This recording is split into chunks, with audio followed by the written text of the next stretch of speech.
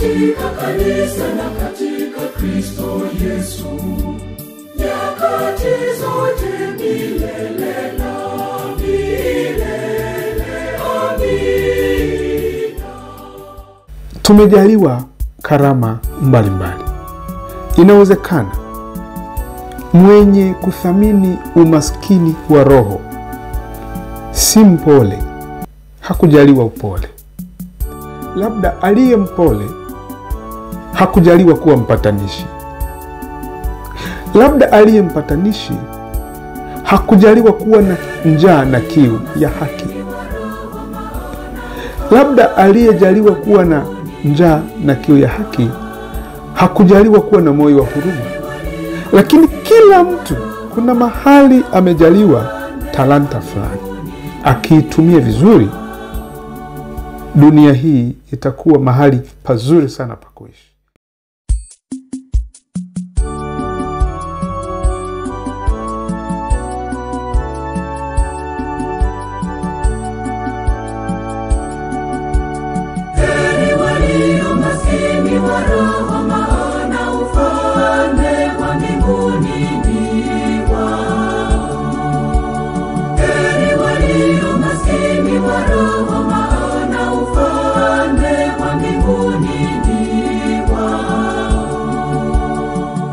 Utajiri wako usikufanye uwe na jeuri, kiburi, majivuno na dharau.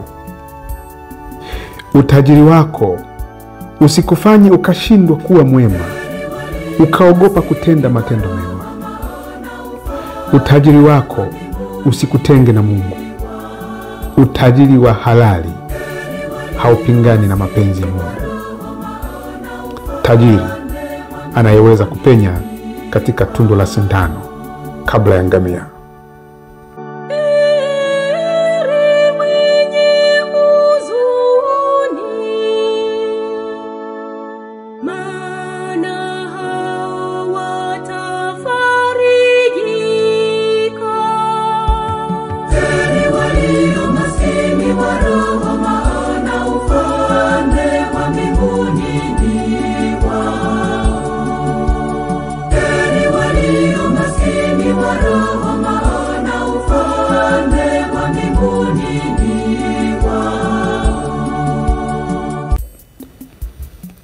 Bwana Yesu katika utume wake alifariji watu wengi sana, waliofiwa na wengine waliokuwa wanateseka. Katika maisha yetu tunaumizwa sana, tunahuzunishwa sana, tunafiwa sana, tunauguliwa sana, tunateswa sana, na kwa sababu hiyo tunahuzunika.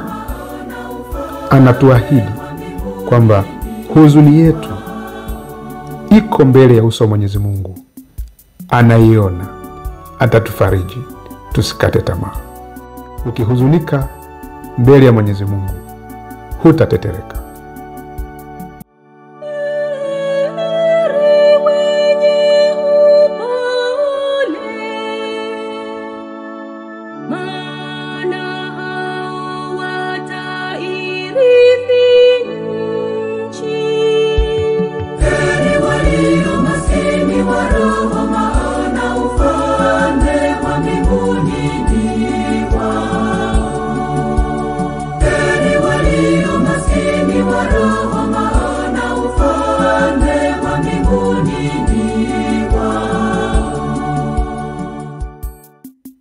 Watu wenye nguvu hawalipizi visasi.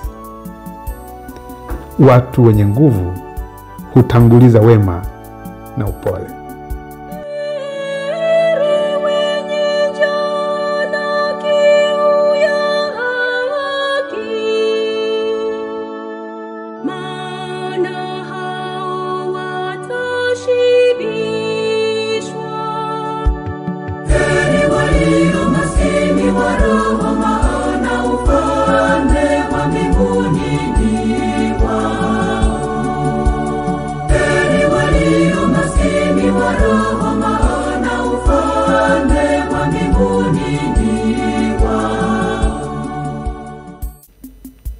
Njaa na kiu ni vielelezo vya tamaa. kwamba wanaotamani haki wanatenda jambo jema na hawatapoteza muda wao bure na watashiba haki.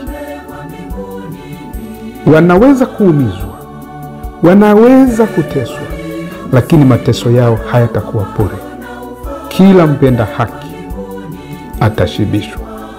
Na katika hotuba hii ya mlimani, Bwana Yesu ametaja haki mara mbili. Amesema, heri wenye njaa na kiu ya haki, maana hao watashibishwa. Na akasema, heri wanaoudhiwa kwa ajili ya haki, maana hao watauona ufalme wa mbinguni. Kama unapigania haki, kama unatetea haki, usiogope, mlango wa mbinguni ni wako.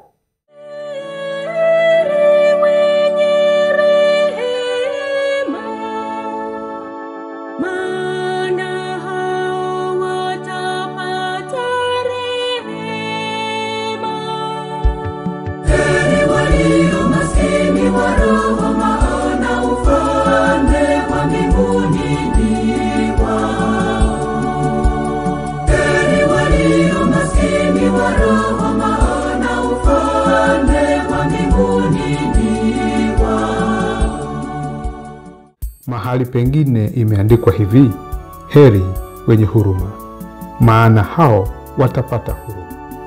Kuwa mwema kwa watu, tenda matendo mema kwa mwili na kwa roho, yatakurudia. Waswahili wanasema tenda wema, nenda zako.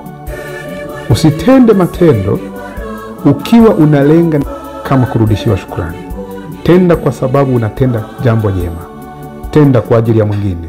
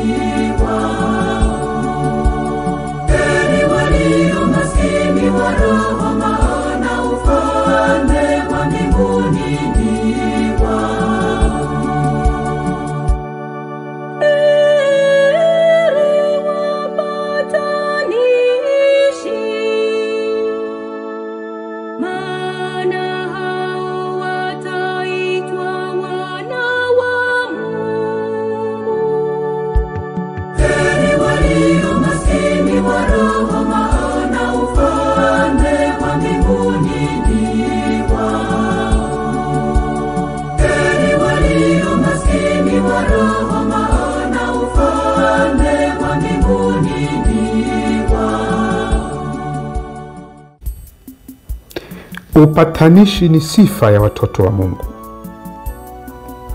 Wale wasomao Biblia wanafahamu kwamba Mungu aliipatanisha dunia na nafsi yake kwa kifo cha mwanaye msalabani. Mateso, maumivu kwa ajili ya wengine. Umiza nafsi yako kidogo, kama kwa kufanya hivyo unawasaidia wengine.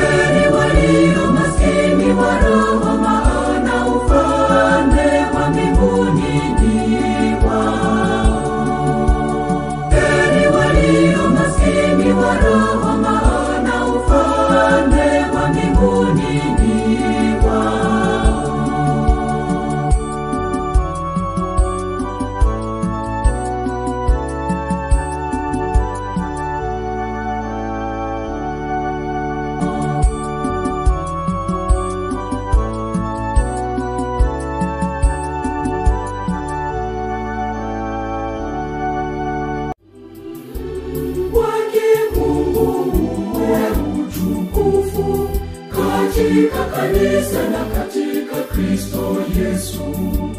Nyakati zote milele